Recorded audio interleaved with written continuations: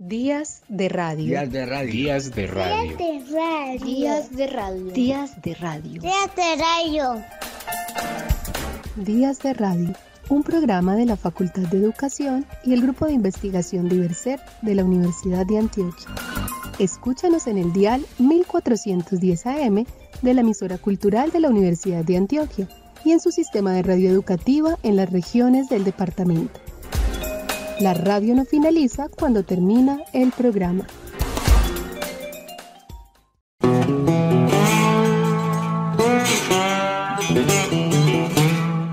El pasado viernes 25 de noviembre, como cada año, se cumplió una nueva conmemoración del Día para la Erradicación de la Violencia contra la Mujer y se inició por 16 días una nueva campaña para crear conciencia, llamar la atención, dejar algunas cifras, recordar iniciativas y especialmente destacar el rol de las mujeres en la vida.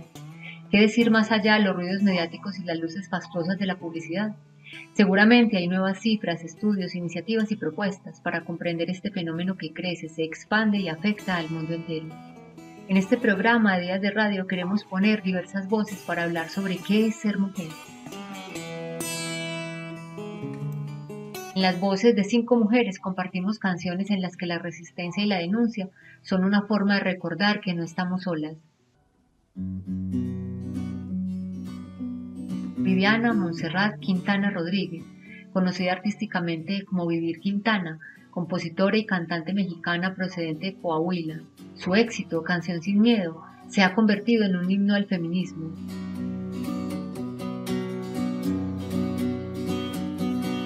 Que Estado, los cielos, las calles, que tiemblen los jueces y los judiciales.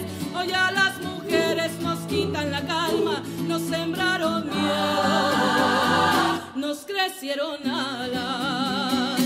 A cada minuto de cada semana nos roban amigas, nos matan hermanas, destrozan sus cuerpos, los desaparecen. No olvide sus nombres, por favor, señor presidente. Por todas las compas marchando en reforma, por todas las morras peleando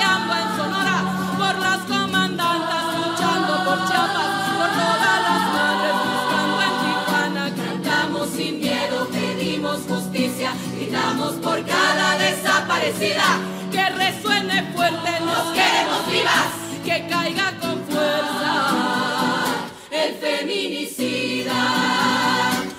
todo lo incendio, yo todo lo rompo. Si un día algún fulano te apaga los ojos, ya nada me calla, ya todo me sobra. Si tocan a una, respondemos todas.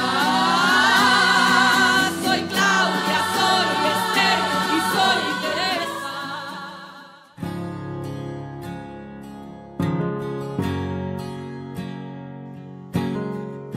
Nati Natacha es una cantante dominicana que alza la voz contra la violencia de género. Nunca me has golpeado, nunca me has tirado contra la pared, pero salen de tus labios palabras hirientes y tu infidelidad. Me estás matando. Esta canción nos habla sobre aquellas mujeres que tienen que lidiar contra la violencia machista día tras día. Y es que aunque no haya contacto físico, también existe el maltrato psicológico. Palabras hirientes y tu infidelidad. Me estás matando sin ponerme encima un solo dedo.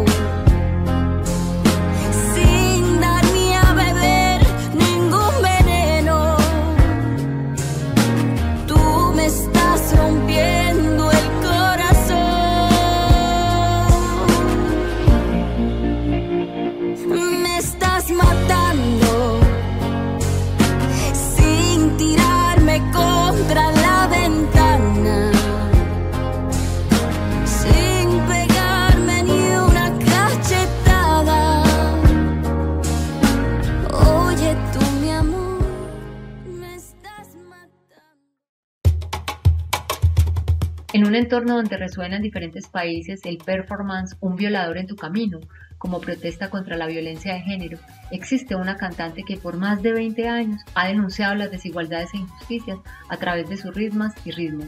Se trata de Ana Tijoux. En Antipatriarca, la canción que dejamos para ustedes, ella nos presenta un manifiesto contra la injusticia que se vive a diario por el hecho de ser mujer. Nos hicieron sentir toda una vida culposas y culpables de serlo. Reivindicamos cuando no debieran ser, pero es un tema controversial hoy en día a diario el sistema nos violenta, a diario el patriarcado nos violenta.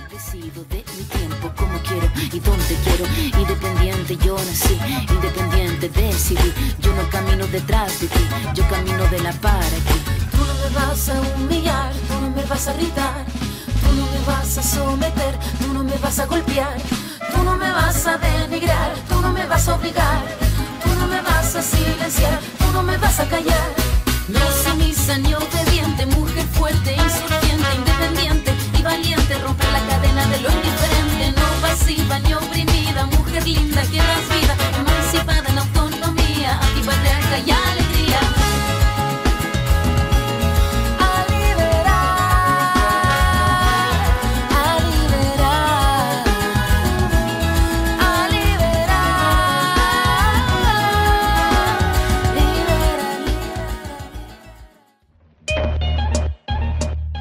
Rebeca Lane es socióloga, poeta, cantante de rap feminista y anarquista de Guatemala, que desde el año 2000, por medio del hip hop, comparte en los escenarios donde ha estado vibras positivas y fuerza para las víctimas de la violencia que se vive en América Latina. Cinco mujeres hoy han sido asesinadas y a la hora por lo menos 20 mujeres violadas. Eso que solo es un día en Guatemala, multiplícalo y sabrás por qué estamos enojadas. No voy a andar con pinzas para quien no entienda que esto es una emergencia y estamos preparadas. No soy pacifista, no me exijan cosas que no ofrezco. No pedí un pedestal ni lo merezco. Soy como las otras hartas de andar con miedo agresiva porque es la forma en que me defiendo. No tengo privilegio que proteja este cuerpo en la calle. Creen que soy un blanco perfecto, pero soy negra como mi bandera y valiente en nombre mío y en el de todas mis bisabuelas. La curandera que murió de tantos golpes porque el hombre que la amaba realmente la odiaba. La otra que fue abandonada con un hijo y cuando se enfermó tuvo que mandarle un hospicio. Esto va por mí porque a los 15 años me atravesó la cara un golpe desde su mano. Porque ningún humano se hizo presente el día que un delincuente me dejó el pezón marcado. Esto va por la niña de 9 años obligada. Triste en el espejo me mira prudente y no quiere hablar. Rosalén, cantante y compositora española, es una activista social que defiende con su música los derechos de las minorías y comunidades más desfavorecidas. La Puerta Violeta es un himno contra las agresiones machistas. A modo de homenaje a las mujeres maltratadas, Rosalén representa el calvario de los malos tratos con una metáfora visual de la Sierra del Segura de Albacete después del devastador incendio del verano.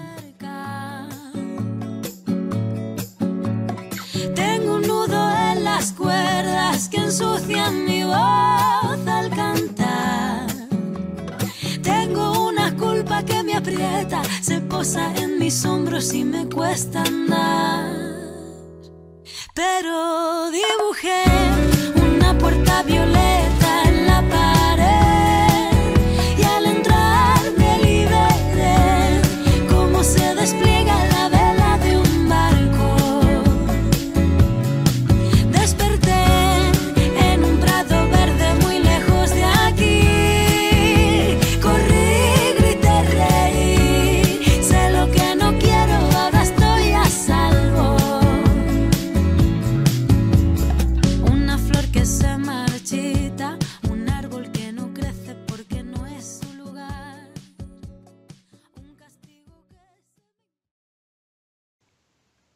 Francia Márquez, líder ambientalista, en esta conversación con Carolina Salín para el programa Dominio Público, nos señala cuál es el feminismo que sustenta sus propuestas y proyectos. El espaldarazo, el movimiento Estamos Listas, que es un movimiento feminista. Tu candidatura es una candidatura feminista. Y háblame de eso también, porque además pues, se relaciona con el monólogo que traté de hacer. Yo creo que mi candidatura es una candidatura que encarna y enmarca muchas luchas, ¿sí? Y dentro de esas, por supuesto, el feminismo, ¿sí? Y el feminismo diverso, ¿sí? No el feminismo clásico también que, pues, sabemos, todas las mujeres vivimos opresiones, pero hay mujeres que esas opresiones les significan unas situaciones mayores, ¿sí? Sí. Y ahí yo creo que el feminismo diverso, desde el feminismo comunitario, el feminismo que se construye también en colectivo y en diversidad.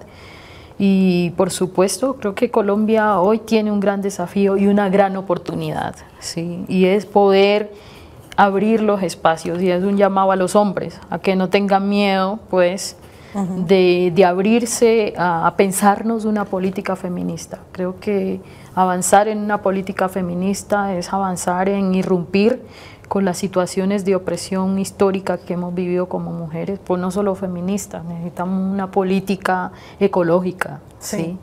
que irrumpa con esas formas en cómo hemos ido contribuyendo a la crisis planetaria que hoy tiene esta casa grande, pero también antirracista. Ya sí. los pueblos racializados en este país pues no aguantamos más, ¿sí? sí y no aguantamos exacto. que cada día se nos vaya expro expropiando nuestra condición humana.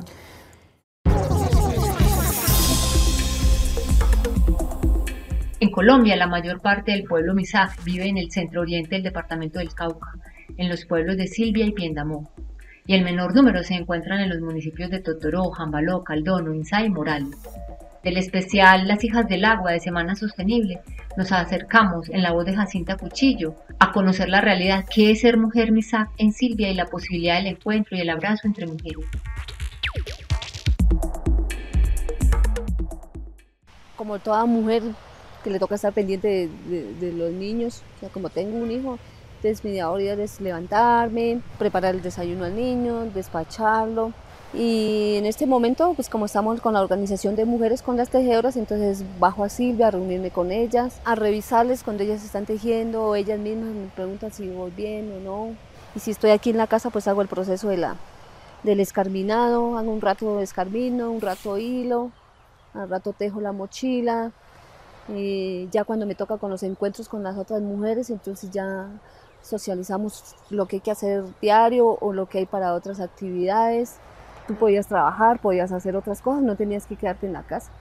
Y si querías pues tener su propio recurso también se podía, porque uno no tiene siempre estar esperando al marido o, o, así, ¿no? Porque a veces pues lo que, lo que es el machismo, ¿no? Entonces yo soy el que doy la plata, usted no sale, usted se queda aquí. Y aquí en Silvia las mujeres empezaron a trabajar de eso, ¿no? Entonces ellas mismas a veces dicen eso, uy no, Jacinta, yo antes en la casa solo era mi casa y que despachar al hijo y hacer el almuerzo y estar haciendo el aseo nada más, pero con esto hemos aprendido a tomar decisiones, a decir, bueno, esto es así, hagámoslo así, eh, como ganarse el respeto también con, los esposos, porque antes era, no, yo me voy a trabajar, entonces usted se queda aquí en la casa. Audre Lorde escribió su primer poema cuando estaba en la escuela primaria. Publicó su primer libro de poesía, The First Series, en 1968 a continuación, una nota de Mamachama, una asociación sin ánimo de lucro que trabaja por la construcción de un modelo de sociedad basado en valores de igualdad, justicia social y solidaridad, nos permite responder a la pregunta ¿qué tipo de feminista es Audre Lorde?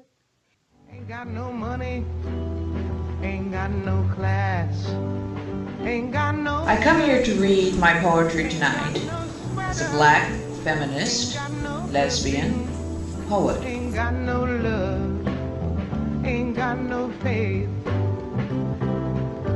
He venido hoy como negra, lesbiana, madre, guerrera, poeta. Así iniciaba sus discursos Audre Lorde, nacida en Harlem el 18 de febrero de 1934. Ícono del feminismo afroamericano, luchadora incansable por los derechos civiles contra el racismo y la opresión. As a black, lesbian, feminist, socialist, poet, mother of two, including one boy and member of an interracial couple, I usually find myself part of some group in which the majority defines me as deviant, difficult, inferior, or just plain wrong. Audre Lorde tuvo tres nombres: Audrey, Audre y Gambadiza. El primero lo recibió de sus padres en 1934. El segundo se lo dio a sí misma en su infancia por amor a la simetría y a la literación. El tercero se lo dio en el lecho de muerte, en 1992, y quiere decir la guerrera que se hace escuchar. Un nombre ganado justamente, tanto se hizo escuchar que contribuyó a gestar una ola entera del feminismo, el feminismo interseccional, el que vivimos hoy. Antes de que existiera esa palabra, la voz de Lord se alzaba para demostrar que racismo, homofobia y patriarcado siempre van de la mano. Con sus ensayos, su poesía y su militancia docente, Lord creó un lenguaje para expresar, compartir y agrupar las experiencias de miles de mujeres que no encontraban en el feminismo de su época ningún lenguaje que las representara, porque ese feminismo, ese feminismo denunciaba el agobio de una vida de ama de casa a la que ellas jamás podrían acceder.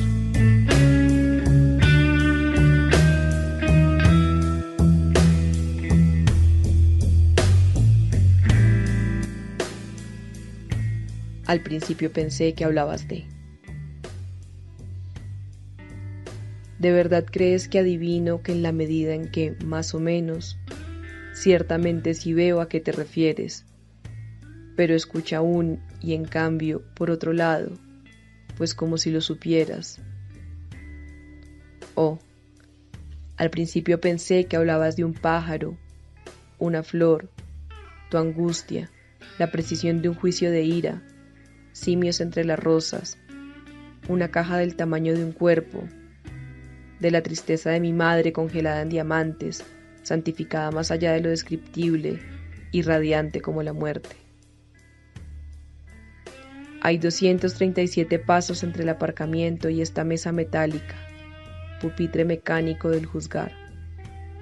El primer sol primaveral brilla en la fachada del edificio, pero se interrumpe en la puerta Toma ahora mi cuerpo y mi sangre como último sacrificio registrado de una imagen negativa sobre la hoja de la puerta giratoria de este edificio, donde hasta los ascensores desfallecen. Ciertamente sé a qué te referías, por cierto, pero escucha aún y en cambio, por otro lado, pues ya sabes solo como si de verdad crees que adivino, que en la medida en que más o menos Oh, bien, ya veo. Al principio pensé que hablabas de...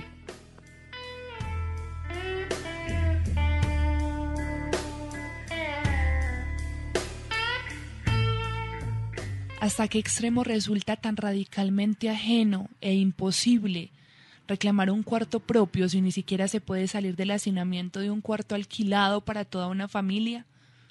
Donde muchas veces ni siquiera hay una cama propia, mucho menos una habitación entera. Si el encierro del ama de casa la reduce al silencio de una cosa que solo importa mientras cumpla su función, ¿qué arquitectura expresa a la mujer del servicio, a la doméstica, que lo es precisamente porque no tiene un domus del que disponer y porque coinciden siempre tan sistemáticamente pobreza y piel si la vida del ama de casa se encuentra sujeta a la de su marido, ¿qué hay de las mujeres que no maridan con varones? ¿Y qué relación de intimidad se puede ofrecer a las mujeres que una no necesariamente ama? Patriarcado, racismo, clasismo y lesbofobia son los dedos de un mismo puño y asestan juntos un solo golpe. Poemas de mujeres en sus propias voces para dejar constancia de la fuerza del decir, de la búsqueda de opciones, de la rebeldía del lenguaje.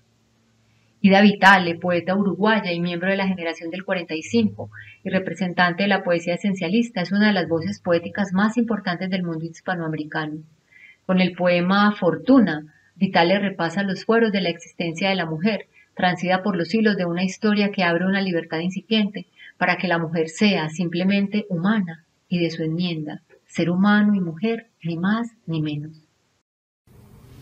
Fortuna por años disfrutar del error y de su enmienda, haber podido hablar, caminar libre, no existir mutilada, no entrar o sí en iglesias, leer, oír la música querida, ser en la noche un ser como en el día, no ser casada en un negocio, medida en cabras, sufrir gobierno de parientes o legal lapidación, no desfilar ya nunca y no admitir palabras que pongan en la sangre limaduras de hierro. Descubrir por ti misma otro ser no previsto en el puente de la mirada. Ser humano y mujer, ni más ni menos.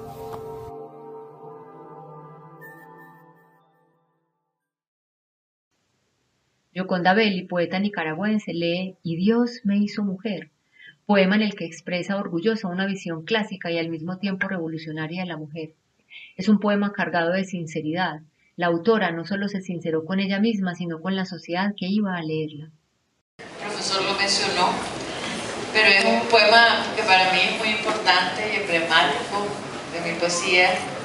Y Dios me hizo mujer de pelo largo, ojos, nariz y boca de mujer, con curvas y pliegues y suaves hondonadas, y me cavó por dentro, me hizo un taller de seres humanos, tejió delicadamente mis nervios y balanceó con cuidado el número de mis hormonas, compuso mi sangre y me inyectó con ella para que irrigara todo mi cuerpo. Nacieron así las ideas, los sueños, el instinto, todo lo que creó suavemente a martillazos de soplidos y taladrazos de amor, las mil y una cosas que me hacen mujer todos los días, por las que me levanto orgullosa todas las mañanas y bendigo mi sexo. Elvira Sastre leyó este poema en el cierre del Congreso de la Lengua, un poema dedicado a las luchas de las mujeres. Somos mujeres. Miradnos. Somos la luz de nuestra propia sombra, el reflejo de la carne que nos ha acompañado, la fuerza que impulsa a las olas más minúsculas. Somos el azar del oportuno, la paz que termina con las guerras ajenas, dos rodillas arañadas que resisten con valentía. Miradnos. Decidimos cambiar la dirección del puño porque nosotras no nos defendemos, nosotras luchamos. Miradnos. Somos también dolor, somos miedo, somos un tropiezo fruto de la zancadilla de otro que pretende marcar un camino que no existe. Somos también una espalda torcida, una mirada maltratada, una piel obligada, pero la misma mano que alzamos abre todas las puertas la misma boca con la que negamos hace que el mundo avance y somos las únicas capaces de enseñar a un pájaro a volar. Miradnos, somos música, inabarcables, invencibles, incontenibles, inhabitables, luz en un lugar que aún no es capaz de abarcarnos, de vencernos, de contenernos, de habitarnos, porque la belleza siempre cegó los ojos de aquel que no sabía mirar. Nuestro animal es una bestia indomable que dormía tranquila hasta que decidisteis abrirle los ojos con vuestros palos, con vuestros insultos, con este desprecio que oídnos, no aceptamos. Miradnos, porque yo lo he visto en nuestros ojos, lo he visto cuando nos reconocemos humanas en esta selva que no siempre nos comprende, pero que hemos conquistado. He visto en nosotras la armonía de la vida y de la muerte, la quietud del cielo y del suelo, la unión del comienzo y del fin, el fuego de la nieve y la madera, la libertad del sí y del no, el valor de quien llega y quien se va, el don de quien puede y lo consigue. Miradnos y nunca olvidéis que el universo y la luz salen de nuestras piernas, porque un mundo sin mujeres no es más que un mundo vacío y a oscuras, y nosotras estamos aquí para despertaros y encender la mecha. Camila Sosa, la actriz y escritora argentina protagoniza un inusitado fenómeno literario. Su novela Las Malas, una historia de travestis y prostitución con ecos autobiográficos, es un éxito en críticas y ventas. Dice ella, abría los ojos y quería ser otra. Cada mañana me encerraba en el baño, me probaba ropas de mamá y me pintaba. Luego me lavaba y salía a la vida familiar. Entonces tenía cuatro años y aún se llamaba Cristian Omar pero a los 13 se enamoró de un profesor y escribió un cuento en voz femenina donde adoptó el nombre de Soledad. Su mejor amiga y confidente leyó el relato y la delató en la escuela. Así es como por primera vez me nombré como mujer, escribiendo. En este fragmento de su discurso al recibir el premio Sor Juana Inés de la Cruz, que desde 1993 reconoce la excelencia del trabajo literario de mujeres en español en América Latina y el Caribe, Sosa nos cuenta qué significa ser mujer. Parece mentira que en pleno 2020, en este mundo tal y como está, una deba agradecer que se le otorgue el premio Sor Juana Inés de la Cruz a una escritora trans, como si una tuviera que seguir pidiendo permiso, dando las gracias, diciendo perdón y perdón por cada paso dado. Les felicito. Hoy el mundo es un poco más justo y por lo tanto más bello. Y como a mí no me asusta la mentira y tampoco caer en obviedades, les agradezco el coraje y lo inesperado. Se sienta un precedente con esta indecente escritora travesti que recibe tamaña distinción y como dice Susie Shock, mi comadrita, se inaugura la venganza de las travestis, por donde menos se lo esperaban, que es a través de la palabra. Todo esto me desorienta y es que el cuero se acostumbra a los castigos y los escupitajos es por eso que digo esta gratitud para con el jurado que no se detuvo en el misterio de mi identidad y fue más allá y me dio lo que me correspondía. También agradezco a los sabores, los perfumes y colores de México, porque no, al cabo que este es mi premio puedo agradecerle a quien yo quiera. A mi papá, don Sosa, que es la prueba viviente de que las personas sí cambian, que los hombres traicionan esta mala educación que enseña a odiar a las travestis, a mi mamá, la Grace, que supo regalarme libros en cada celebración, porque gracias a ella, en la pobreza en que vivíamos, nunca me faltó que leer, a mis tías maternas y el cuchicheo de la siesta en los patios de la casa de mis abuelos, ese chismorreo musical bajo la higuera donde iban metiéndome el veneno de su lenguaje, amariconado y florido, dulce como el clericó que las vi preparar año tras año e indecente como las cumbias que bailaron todo lo que duró mi infancia.